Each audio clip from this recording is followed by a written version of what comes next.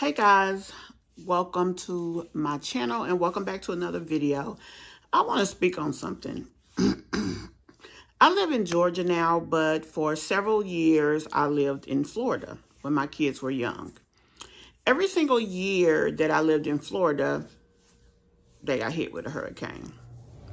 The very first year that I moved there, shortly before the hurricane hit, I was involved in a car accident and so I didn't have a vehicle at the time. I had a place to stay, didn't have a vehicle though. Um, I remember having to be evacuated from my home. We had to go into a school with other families. And I remember sitting there with my children thinking, I got two Pampers. What the heck do I do? If I get to the point that my baby uses these Pampers. Now, they did have things like that in the uh, evacuation point, which was a school building, but it was just the point of that. It was just the point of where I was in that situation. Now, I say all of that to say this. Peach put a post up earlier today and she was saying something about um, should I have evacuated? A hurricane is imminent. Should I have evacuated?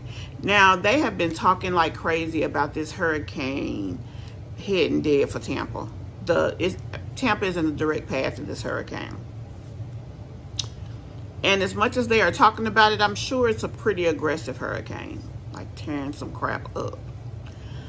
Um, I remember seeing her on live uh, about three or four days ago, and she mentioned the hurricane because somebody in the casino said something about the hurricane, and she was like, um, I ain't gonna believe it. I don't think it's really gonna hit us, whatever, whatever, right? I don't know her exact words, but she did say that. So then, fast forward to today. Now, she been living her best life all weekend, doing her thing here and there and everywhere. Um, you know, going with the children, hanging with the hubby and all of these things. But up until today, she hadn't mentioned the hurricane again, except for last night when she mentioned that the schools was out. So today her excuse was, I don't watch the news, I don't watch TV, so I didn't really know what all was going on. But like I told you, they mentioned the hurricane when she was there in the casino.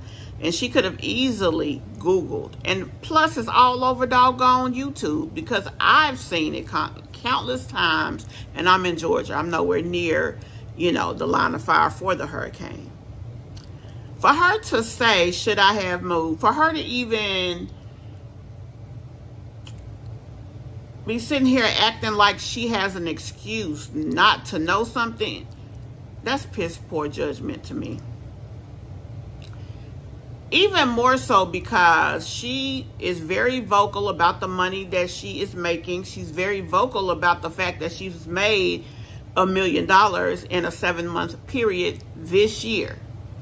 So she could have very easily taken her family out of the line of fire of this hurricane. She could have put some of her kids in her car. Her husband could have put some in his truck and they could have rolled out because I know she has six kids, so they may not have all fit in her car. What is wrong with people? I mean, and, and to sit here and try to, you know, because I do speak, I've spoken on her before, and I've spoken about how intelligent she speaks, how well articulated, how professional I think she is, but I mean, so many people have so many negative things to say, and this is why why would you sit there and leave your kids somewhere where they could have been safe? I remember in uh, 2021 or 2020, one of the two, a hurricane was headed toward um, New Orleans. Uh, Super got a, she chartered a bus. It was some kind of, uh, it wasn't like a, a um, it wasn't like a, uh, you know, one of those um,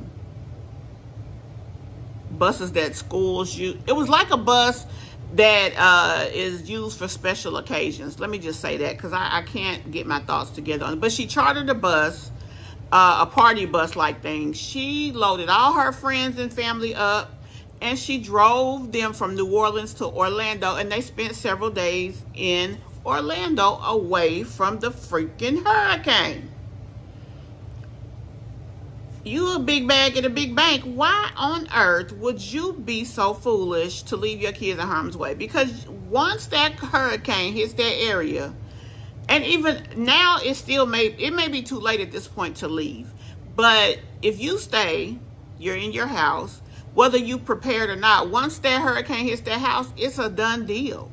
Like at that point, you can do absolutely nothing for your children when you have the ability to do everything. Why would you be so foolish? Like that makes absolutely no sense.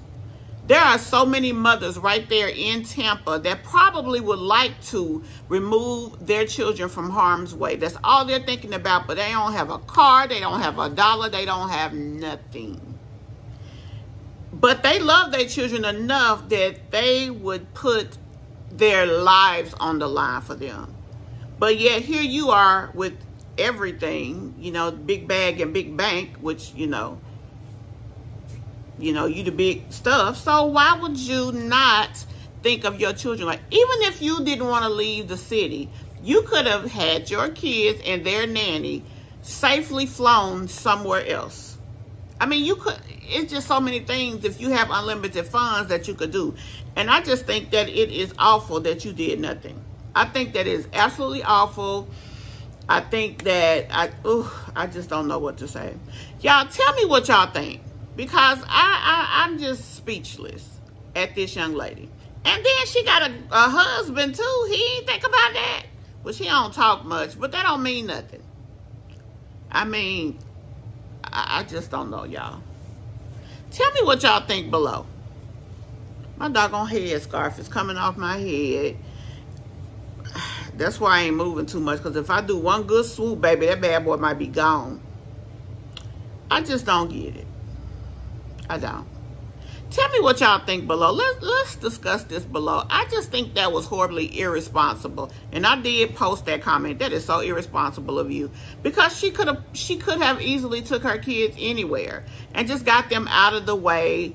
Had a little vacation with her and the baby. She could have took the little nanny on with her. And her and her hubby could they could have went to Vegas and her and her husband could have did their thing. They could have had another hotel room for the nanny and the children and had a good old spanking time. Just crazy. I don't get it. I don't know. Tell me what y'all think below. See y'all in the next video.